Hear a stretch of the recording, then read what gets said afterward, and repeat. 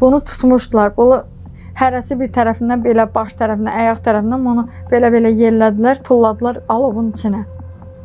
Qışqırırdı onun səsi mənim yadımdadır.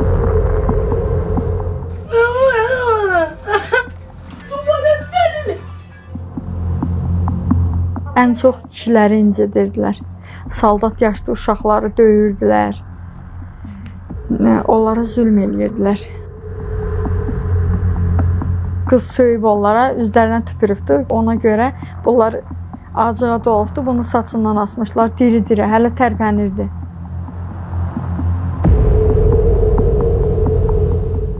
Bir dəfə biri gəlmişdi, qranat əlində, üstü qumbara ki, bəs mənim oğlum ölübdü. Burdan bir neçəsini aparıb başını kəsməliyəm.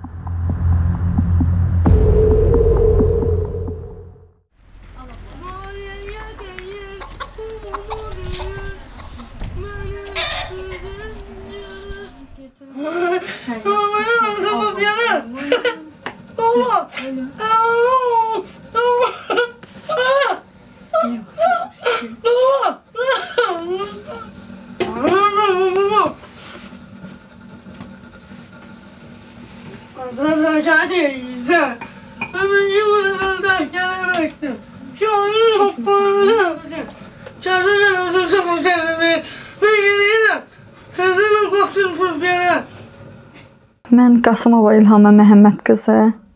Kəlbəcər rayonunun Günəşli kəndində anadan olmuşam.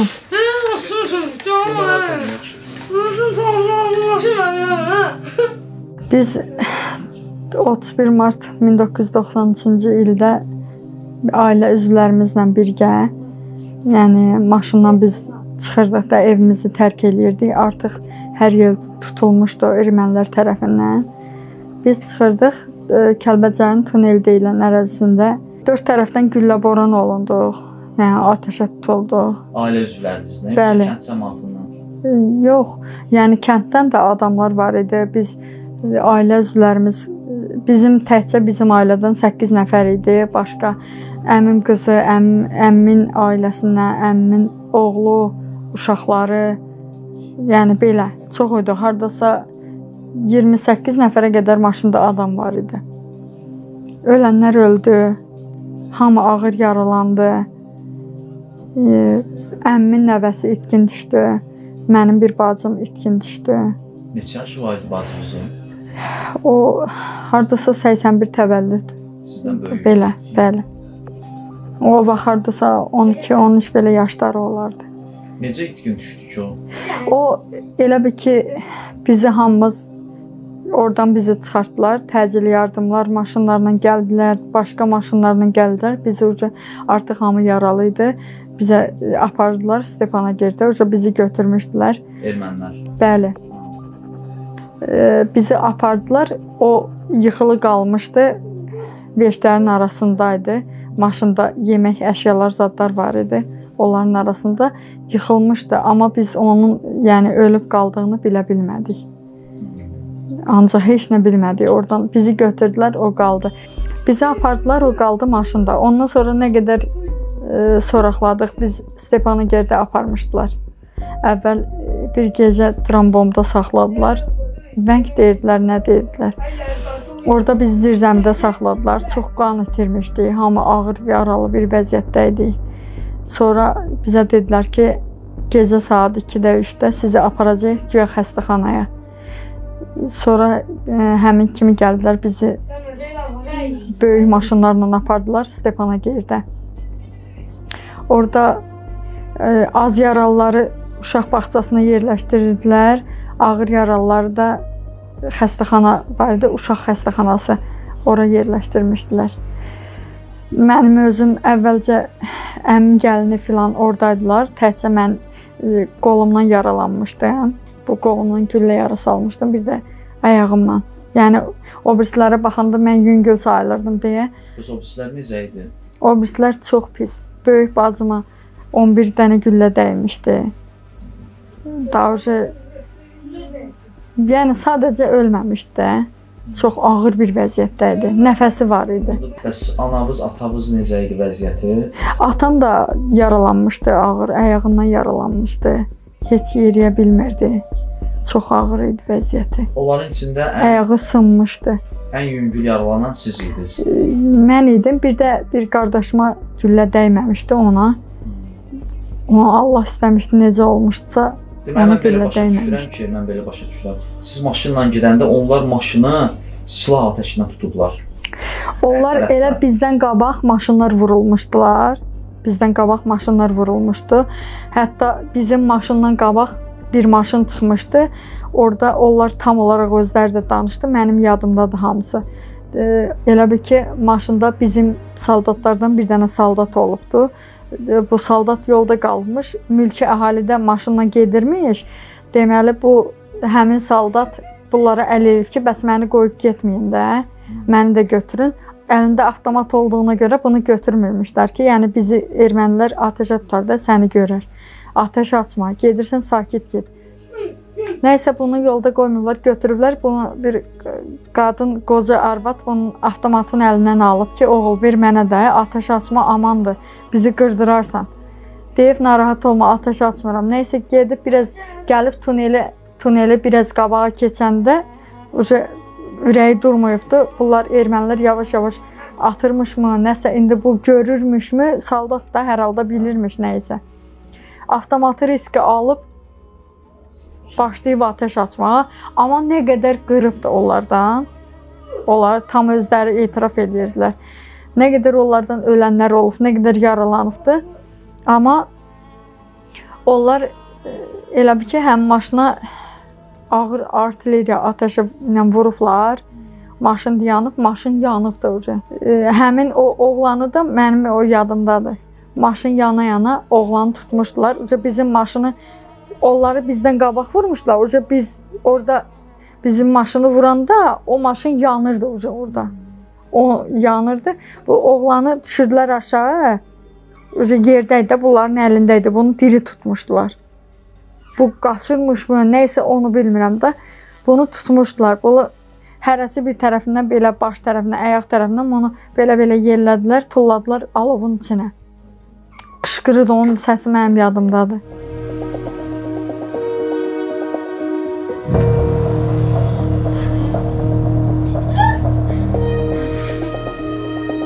Bir də ondan qabaqda bir dənə onlar da bir 15 yaşlarında qızı asmışdılar.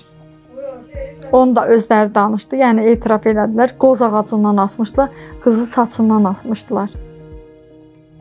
Onlar özü danışdı ki, bəs e, qızı tutmaq istirdi, əsir götürmək istirdik. Biz də onu öldürmək filan əslində məqsədimiz yox idi güya ki. Amma qız söyüb onlara üzlərinə tüpürübdü. Güya ona görə bunlar acığa dolubdu. Bunu saçından asmışlar diri-diri, hələ tərpənirdi.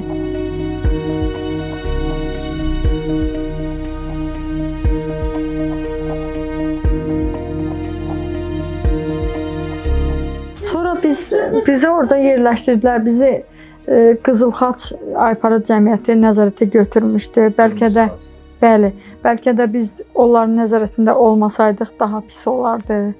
Kim bilir başımıza nələr gələrdi. Bizi Yerevana aparardılar. Allah istədi ki, bəlkə biz onların nəzarətinə düşdük. Düzdür, onlar bizim yanımızda oturmurdular. Ancaq baş çəkirdilər, tapşırıqlar verirdilər, nəzarət eləyirdilər ki, bizə yəni işgəncələr olunmasın. Amma ki onlar təbii ki gedirdilər də hər gün bizim yanımızda olmurdular. Yəni e, biz də çalışırdıq onlar nə isə bir şey baxırdıq pis əməllidirlər. Hədə qorxu gəlirdi ki, deyəcək belə filan. Ona görə çəkinirdilər hələ biraz. Amma ən çox kişiləri incidirdilər.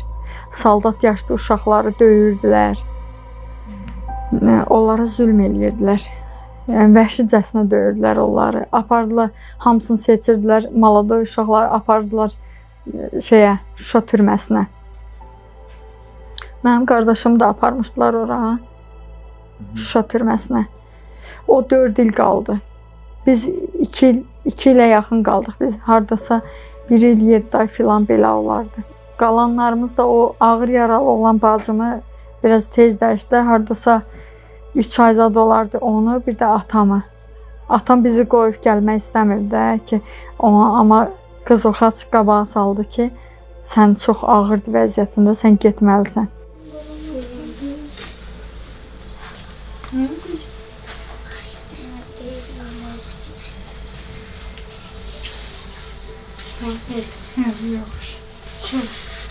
Biz çölə çıxa bilmirdik. Biz 1 il yarım ərzində nə sərbəst çölə çıxma yox idi. Yəni hava almaq üçün də 5 dəqiqə, 10 dəqiqə çıxarırdılar nəzarət altında. Bilirsən ki, sən sərbəst deyilsən də həyata çıxmısan, dörd tərəfində nəzarətdir. Belə qalan e, bütün hamı hər gün ağlayırdı. Yəni qadın, uşaq nə qədər var, tək biz deyildik orada. Aşağı mərtəbədə kişiləri yığmışdılar, üst mərtəbədə qadınlar idi. Hamısı. Yəni onları incidirdilər, səsləri hamısı eşidirdi, hamısı yadımızdadır. Döyürdülər. Bəs qadınlara qarşı zorakılıq eləyirdilərmi onlar? Qadınlara, yəni deyim ki, nəzarət olmasaydı 100% idi, amma ki qorxurdular. Ona görə çox cəhd eləyibdilər. Çox cəhdlər olubdu. Müharibə dövrü idi də, müharibə davam edirdi o vaxtı.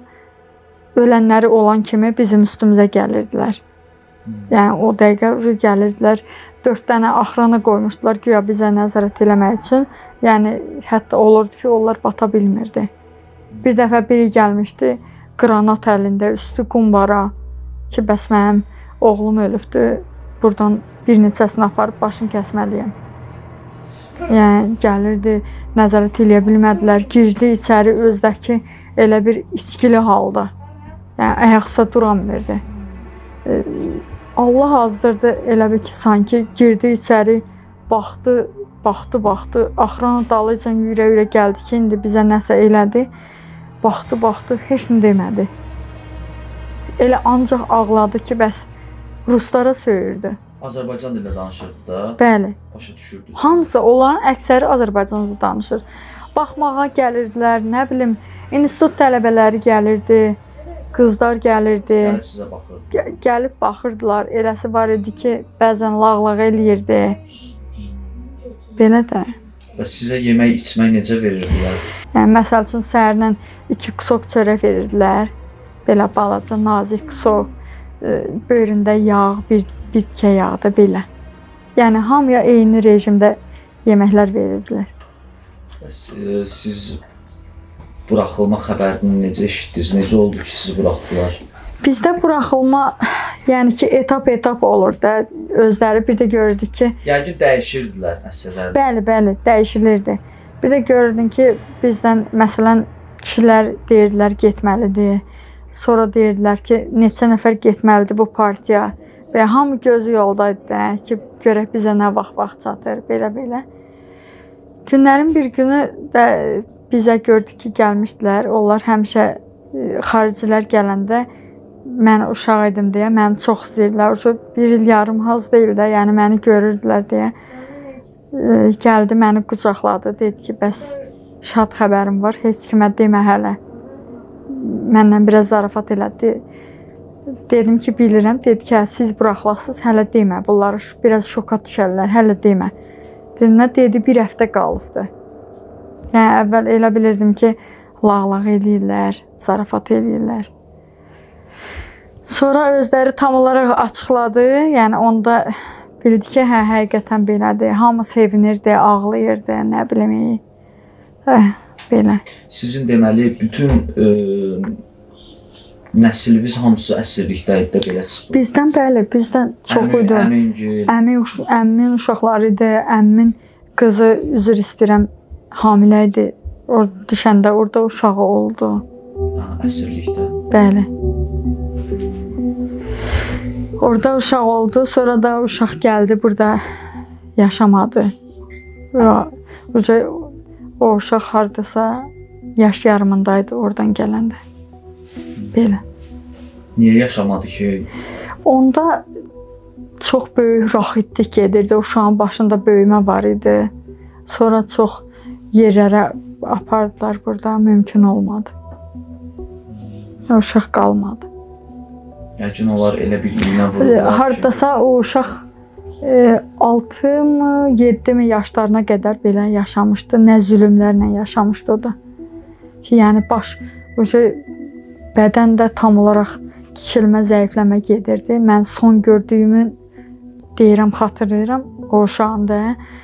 Amma baş çox böyümüşdü, qazan kimi idi baş. Danışıb eləyirdi, qanırdı o. Amma da elə idi. Siz qayıtdınız əsirlikdən. Sonrakı ə, hadisələr nə baş verdi? Nə oldu? Hara getdiniz? Nə etdiniz? Vallah biz əsirlikdən gəldik, bizi dəyişdilər. Yəni sərhəddən dəyişdilər. Bizi gətirdilər Bakıya Vaynı hospitala. Yəni orada bizi çox saxlayırdılar ki, ekspertlərdən keçməlidir. Bütün ölkələrdən gəlirdilər, jurnalistlər gəlirdi, nə bilim, intervyular, hamısı da danışdırırdılar, götürürdülər. Həkimlər yoxlayırdı. Bizi yoxlanışlardan çıxarandan sonra ki, yəni artıq yaxşısız. Ondan sonra bizi buraxdılar da artıq. Biz onda atam bir yer tapmışdılar Ucarda. Ucar rayonunda. Orada qalırdılar. Bizi də elə apardılar ora. Biz də daha biraz orada qaldıq. Sonra oradan köçdük Bərdə rayonuna.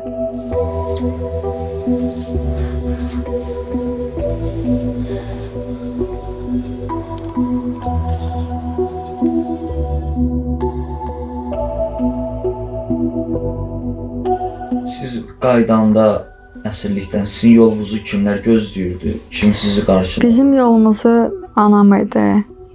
Əsas anam idi. Ananız əsirliyə düşməmişdi. O düşməmişdi. Bir dənə o düşməmişdi. Bir də qardaşım biri. Elə bil ki, biz onu mən bayaq danışmadım. Biz biz çıxanda onlar evdə qaldılar ki, evdə canlılar var da, heyvanlarımız var idi. Onlar ac qalmasın. Güya biz belə deyirdilər ki, atam güya bizi çıxarırdı, gətirə harasa yerləşdirə, sonra onları gətirə. Ona görə məqsəd qismət idi də belə gətirdi. Onlar qaldılar evdə. Onlar sonradan bizim xəbərimizi biləndən sonra bizim maşından bizim maşın vurulanda Ramil var idi bizim maşında, bizim kətdən, həm də qohum idi. O düşüb qaçmışdı. Düşüb qaçmışdı. Düz kəndə qədər çatıb o xəbər vermişdi ki, bəs belə-belə maşın vuruldu.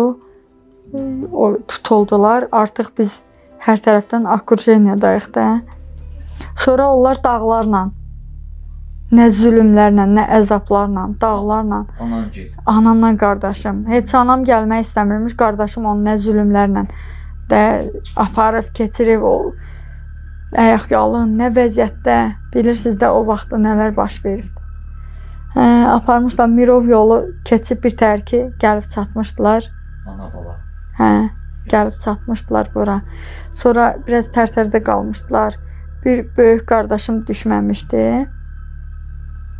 Hep ki ailəsi ilə də buradaydı. Onlar şükür salamat gəlmişdilər. Onların yanında qalmışdılar bir müddət anamgil. Sonra atam qizad dəyişiləndən sonra artıq onlar ucarda özlərinə e, orada yenə də idarə binası idi, kolxoz idarəsinin binası. Yəni oradan yenə sağ olsunlar yerləşdirmişdilər. Orada qalırdılar. Siz ə, əsirlikdən çıx qayıtdınız, məcburi köçkün vəziyyətində yaşaya-yaşaya 9 yaşlı bir qızın təhsili necə oldu? Təhsilim düzdür, geri qalmışdım. Yəni çox geri qalmışdım. 4-cü sinifə getdim orada. Sonra uje biz oradan çıxdıq, getdik o kəndə, Həsənqaya kəndinə Bərdənin. Orada da davam elədim. 9-cu sinifə qədər. Yəni təhsilimi davam elədim.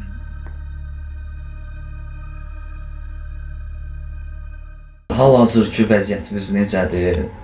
Ailə durumunuz necədir? Belə bu dəqiqəki vəziyyətim, yəni tək bu dəqiqə yox, artıq mən illərdir də bir 13 ildir ki, daha daha çox, həddindən artıq çox pis, acınacaqlı bir durumda yaşayıram. Ən əsası o oldu ki, evladım xəstə dünyaya gəldi. Nə xəstəsi? Anadan gəlmə. Anadan gəlmə hidrosefaliyadır. Allah kömək olsun. Allah köməyiniz olsun. 13 yaşının içindədir. Yəni körpə uşaq kimidir də. Yenə Görürsüz bu 13 ildir nə zülm çəkirsiniz bu uşağa baxmaqda. Mən baxıram sizin eviniz siz kirədə qalırsınız. bəli, hazırda da kirayədə qalırıq.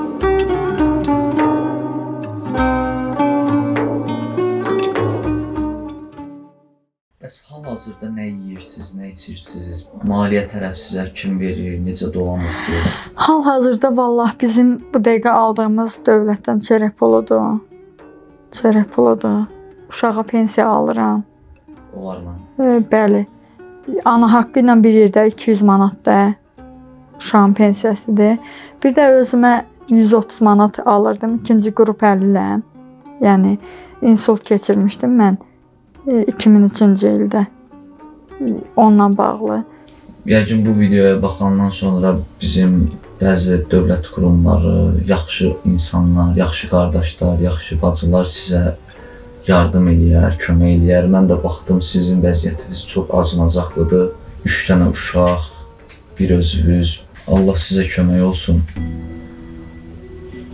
İnanıram ki, bundan sonra sizin həyatınız yaxşı olar və arzu edirəm yaxşı olsun. Allahdan da dualarınızı köməyiniz olsun. əsirgəməyək. Hər kəs bir dua eləsə sizin üçün inşallah Allah tərəfindən qəbul olunar.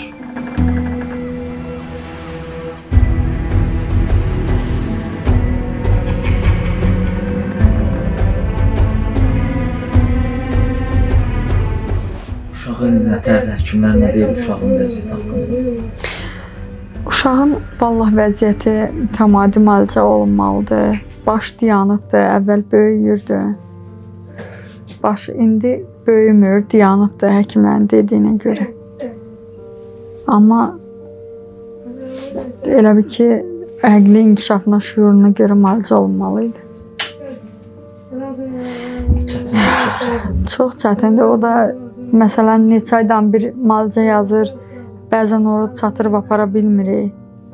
Düzdür, pul alırıq. Nə olsun ki, arada e, vətəndaşlardan görürsən bizə canı yanıb köməyə gələnlər də olur hətta. Amma heç cürə çatmır. E, aya ayda təkcə başqa şey demirəm. 3 blok, 4 blok ona pampers işlədirəm. Böyüklər üçün olanlar. Onu da bir dənəsi 1 manat neçə qəpikdir belə. Bu dəqiqə elə bir nevroz uşaqdır ki, yeməyi bax bayaq gördünüz də nə eləyirdi. Yeməyi 5 dəqiqə, 3 dəqiqə gecəsin, vəsə. Yəni əsəbləşir, qışqırır, ağlayır. Özün o qollarına fikir verəsiz, buraları bəzən tanımayan adam görəndə elə bilir ki, yanıq izi zaddır da belə qolunda. Qolların burası qapqaradır. Hamısı əsəbdən belə tutub dişləyir.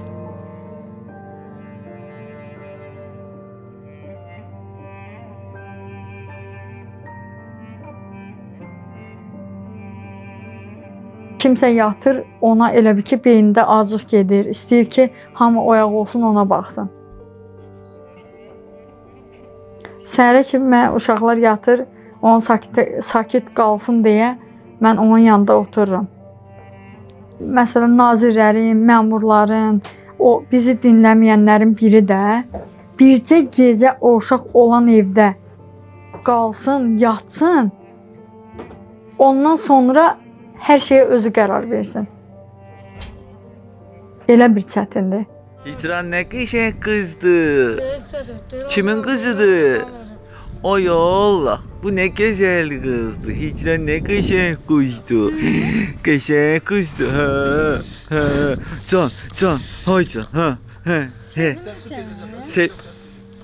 Can, can, can, can. Hay can. Ha, qəşəng qızdı. Qəşəng baladır. Mənə o qədər deyənlər olubdu ki, apar ver dövlətə, nə bilim, sən o uşağı nə edirsən saxlayıb, o uşağa nə edirsən baxıb, niyə ömrünü hədər eləyirsən? O qədər deyənlər olub. Amma nə deyim? Nə qədər yaxşı olursa olsun, hətta bal yağ versin hər an ona, anan əvəz eləməz axı.